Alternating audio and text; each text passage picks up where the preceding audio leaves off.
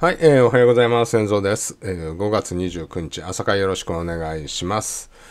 ということで、えっ、と、債務上限問題が進展してリスクオンになるかなというようなところですよね。うん。で、えーまずは、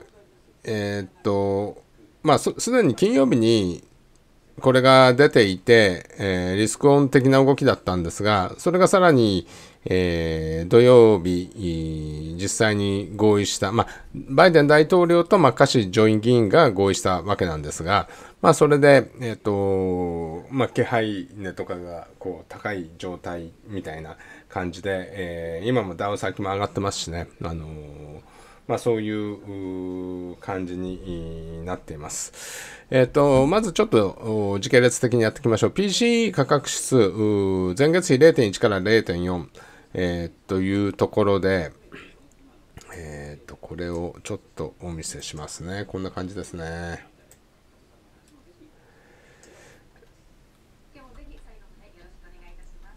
はい、えーこんな感じになってます。うーちょっと見づらいですね。まあ、0.1から0.4ということで、えーですね。で、こちらは、えー前年比で4.2から4.4%。コア指数の方が0.3から0.4。えーっと、前年比で4.6から4.7ということで、いずれも上昇しましたよね。予想より大きかったということで、これで、やっぱり意外にこう物価が、まあ、下がってないじゃないかというところでやっぱり6月の利上げが、えー、とかなりいマーケット織り込みつつある感じですよね。ただミシガン大学の期待インフレ率っていうのは4.6から4.2に下がってるというところですね。これ、まあ5年先なんで、あ5年先、これ1年なんですけど、えー下がってるということですね。ミシガン大学の消費者信頼感指数は、まあこんな、こんな感じになってますね。えっと、4月の63.5から59.2で、えー現在のシチュエーションが68.2から64.9、えー期待指数も60.5から、えー55.4ということで、えっ、と、消費者信頼感指数自体は、えー落ちているというところですよね。まあ、うん、物価の方はこちらは低下だったんですが、まあ、そこがちょっとどうなるかっていうところですね。あとは、えー耐久財受注壊し、あの、耐久財受注って分かりにくいですよね。ですから、えっ、と、すごく分かりやすい指標を2点、えっと、設備投資の先行指標に民間ですね、これになりますよっていうのが、コア資本財の受注っていうのがあるんですけど、これマイナス0.6から1.4、予想マイナス0.2だったんで、これ良かったですね。で、こちら、コア資本財の出荷という方なんですけど、これ GDP の設備投資の、えーところで使われます。これもマイナス0.2から0.5。パーセントということで、耐久財受注も数字良かったんで、まあ、ここら辺、あのーが、もう受けて、2年債利回り上昇しましたね。4.51から4.56。まあ、その、この PC 価格指数のところもあるんですが、ここが大きいわけなんですが、まあ、10年債は一方で、えー若干低下というところなんで、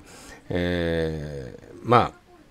あ、あのーフェードウォッチなんかを見ても、6月の利上げがすごく、やっぱり65%ぐらいになってますよね。ですから、6月やりそうな雰囲気になりつつあって、マーケットがそこを織り込んで、ドル買いになりつつあるというところですよね。はい。そんな感じでございます。あと、えーじゃあ、えっ、と、合意したんでしょ？っていうところなんですが、ちょっとここからのタイムスケジュールをお話しすると、とりあえず今合意しましたと。それは、えっ、と、バイデン大統領とマッカーシー下院議長、下院の共和党のリーダーですよね。まあ、その2人がとりあえず合意しましたと。そうすると、ここから法案を作成ししていかなきゃいけないわけなんですよね。で、共和党案っていうのがあって、やっぱり、あのバイデン政権の目玉の政策だった学生ローンの、えー支払い停止みたいなのがあって、まあ、それは復活あのちゃんと払えよっていうことになったりして、まああのーいろいろやっぱりバイデン政権の目玉商、ま、目玉商品じゃなくて目玉政策のところをこう抑えるような、えー、要は支払いを政府の支出を減らすようなものが織り込まれてるんですね。でそれを今、えー、法案を作成していって CBO というのは議会予算局にチェックしてもらって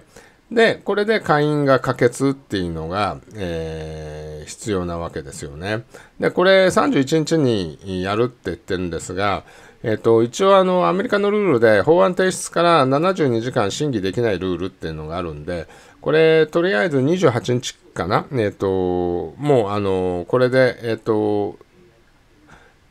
なんていうのかな、実際の法案がまだ昨日の時点では形になななってなかったんで、実際にこう、ちゃんと文書にして、書類にして、まだ叩き台しか昨日の時点ではなってなかったんで、でそれを審議してえっ、ー、と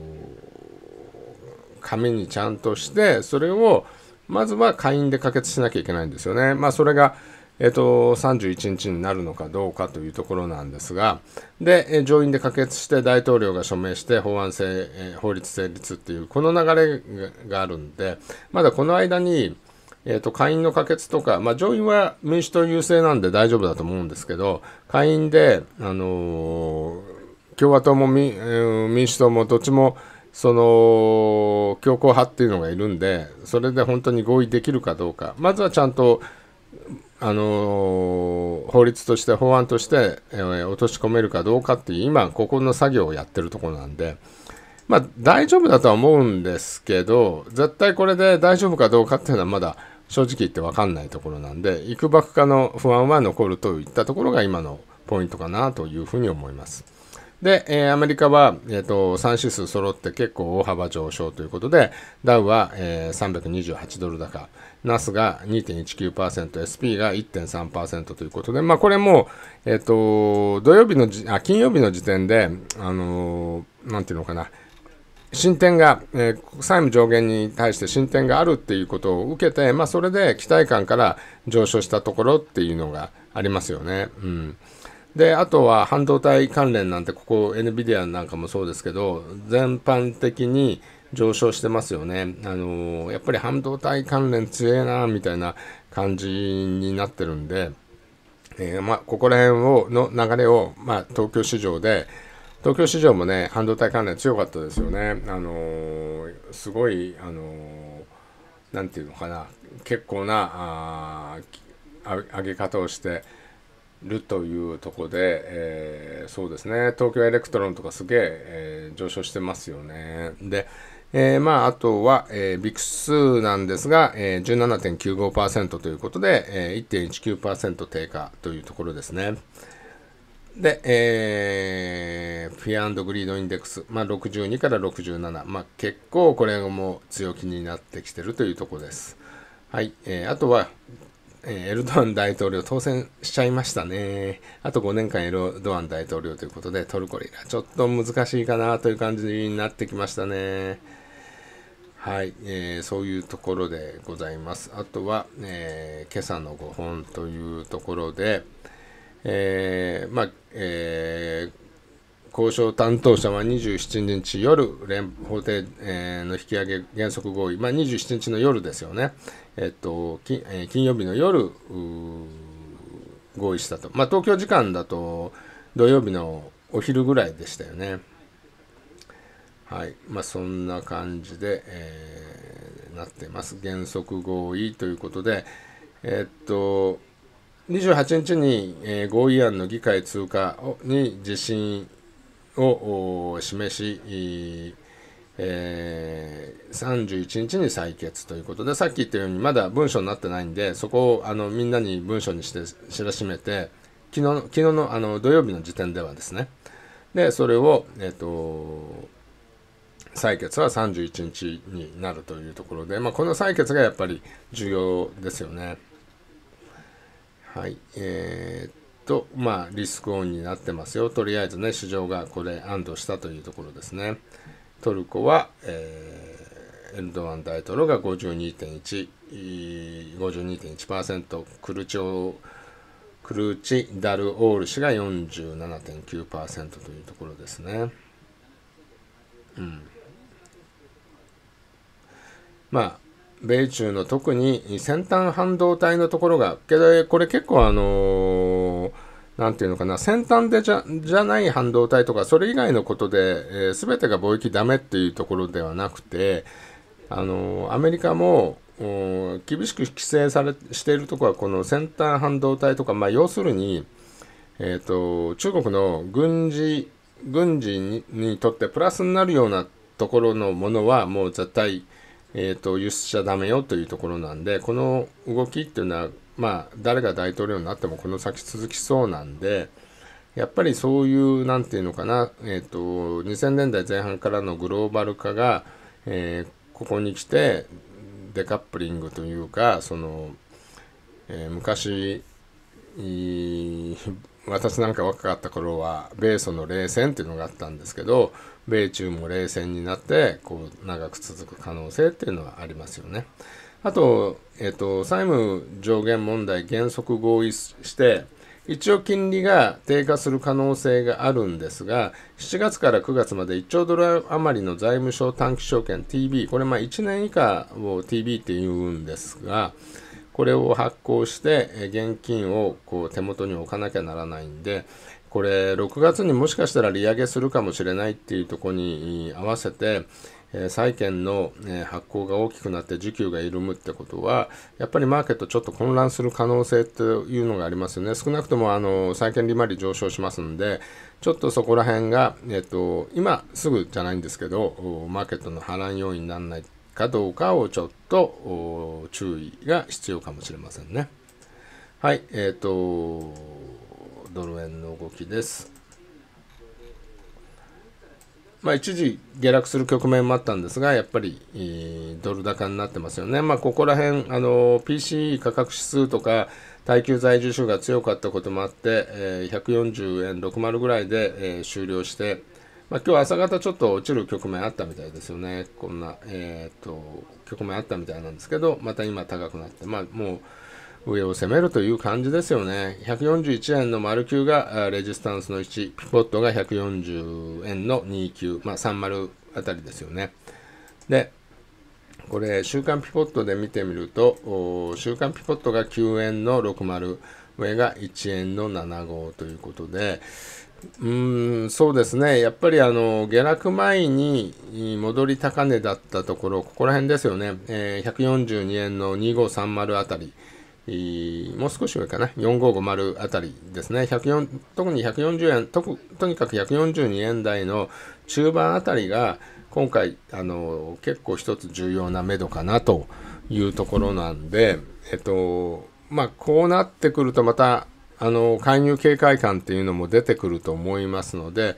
えー、と今後はちょっとそこら辺の円安の動きと介入警戒感とのこう綱引きをしながらという動きになってくるかもしれませんね。で、えー、っと、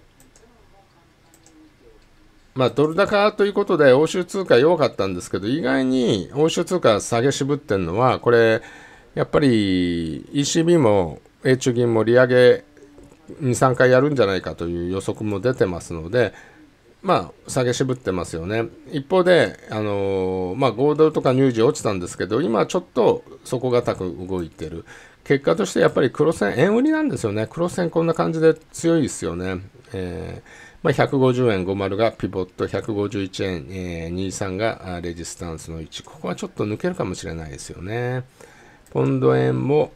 えー、結構もう高値を今更新してきている。5ドル円も5ドル円も高いですよね、堅調で、まあ、レジスタンスにもうちょっと早くも朝からあのピポット、デイリーピポットのレジスタンスをこう攻めに行ってる、近づいてきてるというところなんで、まあ、今日はちょっとやっぱりドル円の動きと、えー、クロス円の動き、注目したいかなというふうに思います。あと、まあ、日経平均ですよね、結構高値取りにくのかな、どうかというところかと思います。今日はあのアメリカメモリアルデーで休みであのイギリスも、えーと、休みなんで、バンクホリデーか、えーとまあ、そういうのもあるんで、海外市場の動き自体が、あのー、緩慢になるかもしれないんですけど、やっぱり東京市場でちょっとリスクオンの動きややる場合、その流れっていうのは続く可能性があるんで、まあやっぱりそっちについていかなきゃダメなのかなというふうには思います。はい、えー、そういうことで、えっ、ー、と、土曜日はね、ちょっとセミナーを東京都内でやらさせていただいて、結構、あの、YouTube のあの皆さんもいらしてくれて、まあ、その後ちょっとお茶したんですけど、まあ、いろいろあの面白い話もできたと思うんで、まあ、参加していただいた方ありがとうございました。で、えー、そうですね、今度来週はあのフィリップ証券さんで、えー、30日オンラインセミナーやります。まあ、短期トレードのやり方みたいな感じですね。あと、え、ー、と、来月17日には名古屋行って、えー、桜インベストメントさんで対面セミナーやりますので、まあ、名古屋の方もし、えー、お時間あればというところで、えー、ございます。はい、えー、ということで、この動画良ければいいねボタンとチャンネル登録まだの方がいらっしゃれば、ぜひチャンネル登録よろしくお願いします。